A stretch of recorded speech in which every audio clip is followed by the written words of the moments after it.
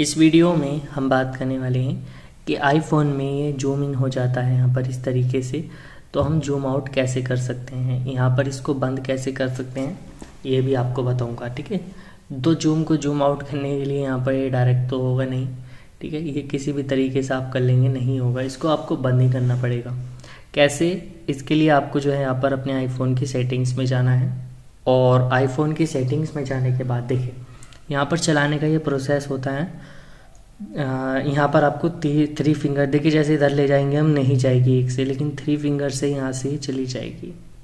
हाँ इधर को नीचे करेंगे तो ये एक उंगली से भी चली जाएगी, लेकिन थ्री फिंगर से इस तरीके से ही जाएगी। और कोई यहाँ पर पॉसिबल वे नहीं है, ठीक है? तो दो से भी नहीं जाएगी यहाँ पर ये, जब तीन लगेंगे ना तो तीन से ऑटोमेटिक चली जाएगी। अभी से हमें बंद करना है तो एक्सेसिबिलिटी पे जाना है।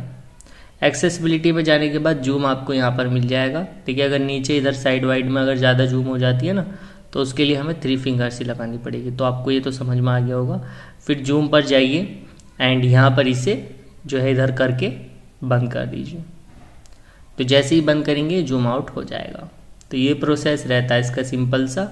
अगर वीडियो अच्छी लगी हो तो लाइक कर दीजिएगा और चैनल को सब्सक्राइब भी कर दीजिएगा।